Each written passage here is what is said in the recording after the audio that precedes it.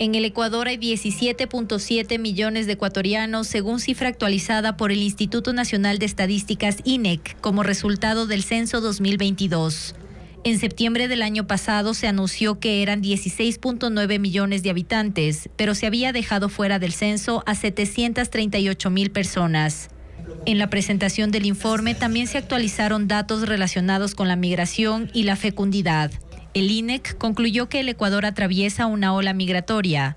En el 2022 salieron del país 63.900 personas. Esta cifra es similar a la del 2000 cuando fueron 67.300.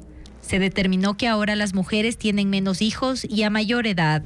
En 1990 se tenía un promedio de 3.8 hijos y la edad de mayor fecundidad 24 años.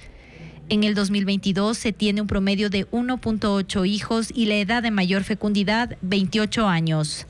El impacto de esta dinámica se reflejará en los próximos años. La población de adultos mayores se triplicará para el 2050.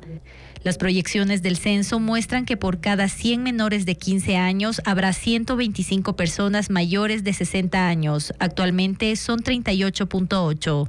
Las reglas del juego, del mercado laboral, de la seguridad social tienen que replantearse de forma urgente. Si no lo hacemos en los próximos años, podremos estar tomando decisiones incorrectas el día de hoy. A partir de este lunes también se podrán revisar otros datos del censo que no fueron publicados en septiembre del año pasado relacionados con prácticas ambientales, personas con discapacidad, equipamiento del hogar, entre otros. Están pendientes los datos de identidad y orientación sexual. El INEC trabaja en ellos con miembros de la comunidad LGBTIQ.